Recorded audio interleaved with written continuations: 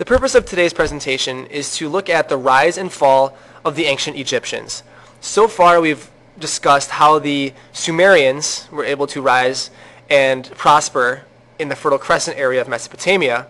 But today we're going to look at how another civilization, probably one of the most studied ancient civilizations, rose in Africa.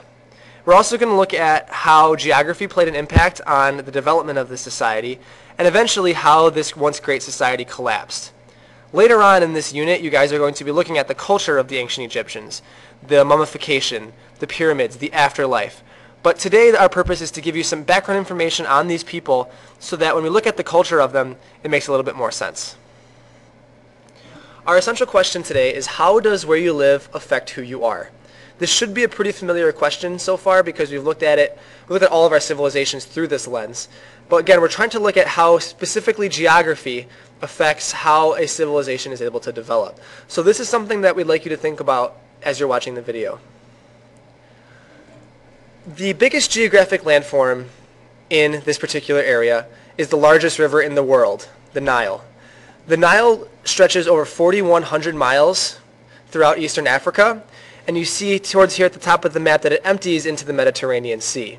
So it actually flows from south to north, emptying into that sea up there. The Nile provides many things for the Egyptians, even still today, but back in the ancient times it was incredibly important. Much like the rivers in Mesopotamia, the Nile floods yearly, creating very fertile farmland. The ancient Egyptians especially were able to grow plants and crops that they eventually could used not only for food, but also to trade with other civilizations to get materials that they needed. So that yearly flooding was a pretty big deal for the ancient Egyptians. The reason it became so fertile was because of the silt that the river left behind it. Fertilizes the soil, makes it very good for growing different plants. Besides using it for farmland, however, the Nile serves another purpose. It provides an incredibly smooth flow for transportation and trade. We mentioned that the Egyptians would trade their food and goods up and down the river, and they were able to do that because of a pretty lucky geographical idea.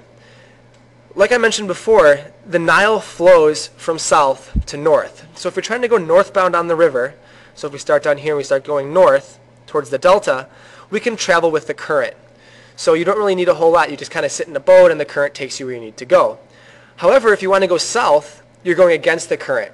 Fortunately for the ancient Egyptians, the winds in this area blow south, which means that they're able to also travel from south to north using sailboats. So regardless of the direction of travel that you want to go in, the Nile can provide that for you, and that was huge for the ancient Egyptians. Plus, we have a really steady supply of water with the Nile River. And water is one of those things that can be used for a lot of different things, a lot of different purposes. Uh, first and foremost, for drinking. You can bathe in it, uh, use it for cleaning.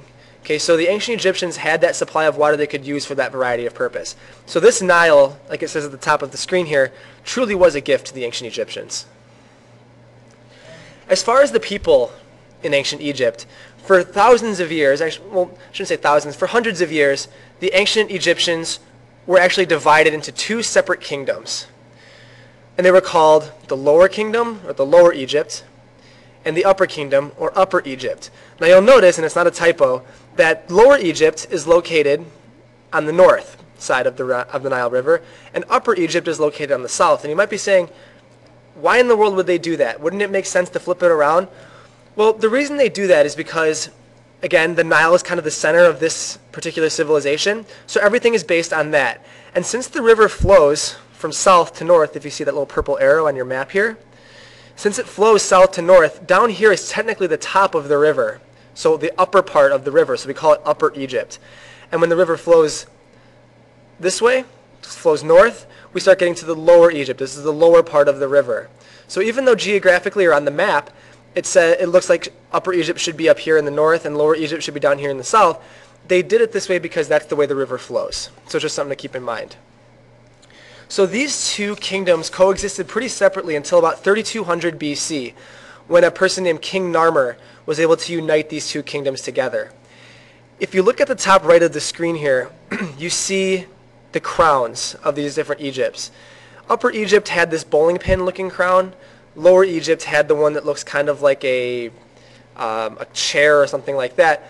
But when the two kingdoms combined, they actually combined the two crowns. So you see the on figure three here at the top, this particular ruler has both crowns on his head because we have one united in Egypt. In terms of its history, Egypt is split into three separate eras. We call them kingdoms. The Old Kingdom is the one that we're probably most familiar with because this is the one where we talk about the pyramids and the Sphinx and early mummification. That stuff takes place during the Old Kingdom from about 2660 to 2100 BC. However, later on in its history, Egypt was uh, home to two other kingdoms, the Middle Kingdom and the New Kingdom. These two kingdoms, as we're going to see in a second, came about because of different invasions that took place in this area. Um, but again, they went from about 2100 to 1800 in the Middle Kingdom, and then about 1800 to 1000 BC in the New Kingdom. Okay, probably one of the most familiar aspects of ancient Egypt, and one of the most important in terms of their politics and society, is the idea of the pharaoh. Okay, the, the term pharaoh was given to the kings of these Egyptian areas. But these people were more than just kings to those who lived in Egypt at the time. These people were considered to literally be gods. Okay, sometimes you hear leaders talk about like they're god-like. These people were considered to be actual gods. So what that meant was they controlled everything. The god controlled everything. Government, army, religion. So he's in charge of pretty much every political and social aspect of Egyptian life. And many people believe that these pharaohs actually caused the sun to rise. Again, they were the gods, and the gods allowed the sun to rise. So people believe that if they listened to the pharaoh, they worshiped the pharaoh, that he would reward them by allowing the sun to rise and making things pleasant for them. This type of government is called a theocracy, and this is the term that you're going to have to know. A theocracy is based on religious authority. So when we have a theocracy, it means that a religious leader is also in charge of the government and vice versa. So in this case, the pharaoh controls both. He's considered the leader of a theocratic government. These pharaohs, and this is probably something you're pretty familiar with already, these pharaohs built very elaborate tombs. Okay, and a lot of times, especially in the Old Kingdom, they were built in the form of pyramids. And you see the pyramids down here. These are the pyramids of Giza in Egypt. And all these thousands of years later, these pyramids are still around. And even though they're kind of eroded and worn out, you can still kind of see the majesty of what these things were. However, the way that these pyramids were built has caused a lot of historical debate. Because, for, well, for two reasons really. Number one, it was built without the use of a wheel, and was built in just over a decade, a lot of these pyramids. And people were trying to figure out, how could these ancient people build something this complex in that short amount of time without modern technology. And it's, it's given rise to a lot of different theories. So the one problem that people have is because these things were, so, were built so quickly and are so majestic. If you look closer at the, at the pyramid, you'll also notice that the blocks are perfectly cut. And again, people can't figure out how these ancient, how these ancient Egyptians were able to create such something so perfect without using these modern tools. This has led a lot of people to believe that somehow aliens were involved in the creation of these pyramids. there are theories that the UFOs um, landed in ancient times and actually helped these ancient people build these, these giant monuments. Um, obviously, there's not a whole lot of evidence to support that, but there are plenty of people who have made pretty significant claims as to this happening. And if you look in the description of the video after you're done, you can watch some of the claims that these people have and see what you think about it. Um, it's one of those things where uh, people have their own opinions and ideas, and it's something that uh, is kind of interesting to think about. this is the Sphinx. This is another one of the great architectural wonders of ancient Egypt. And you'll notice that it looks like a half cat or half lion, half man. The body is the half cat. You have the face that's a half man. Um, and if you look, you notice that the nose of this particular statue is missing. And there's been kind of a controversy on what happened to it. People don't really know. Uh, some people believe that it was stolen. Someone went up there and chiseled the nose off of the Sphinx and took it. Other people think it might have been weathered away or shot off in a war. Because remember, there were wars that took place in the 1940s and World War II where they were fighting in Egypt. And so some people believe that a cannon or weapons might have taken this nose off. But either way, it's one of those, those great mysteries.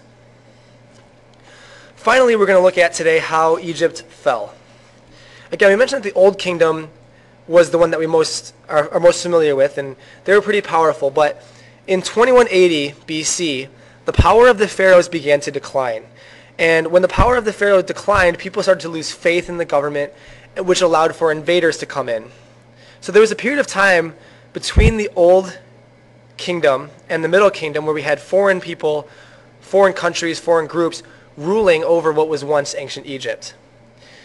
Eventually, though, the middle kingdom was able to take over again, but by 1640 they were taken over by a group of people called the Hyksos, which translates into rulers of the foreign lands. The Hyksos were people who used horses to fight, and they also used bronze tools. So these people actually introduced tools to the Egyptians. By 1570, we have a new kingdom that arises. They, they take over the Hyksos, and they create a new Egypt. And the new kingdom is actually the wealthiest kingdom in Egypt's history. Um, we have for example, in this particular kingdom, this new kingdom, the first female pharaoh, her name is Hatshepsut. Okay, and it's kind of one of those things you got to be careful saying. Um, but she becomes the first female pharaoh. You'll notice that she's dressed in this very similar fashion as the other pharaohs were, with this beard protector, um, though she's clearly feminine. So there's a lot of tradition there, even though that this that she's a woman, uh, she still follows these same male expectations of what it's like to be a pharaoh. And there she is, the first female pharaoh. Eventually, the new kingdom was taken over by the sea peoples and various other nearby civilizations. It kind of divided, and ancient Egypt as we knew it, that very powerful empire, eventually crumbled.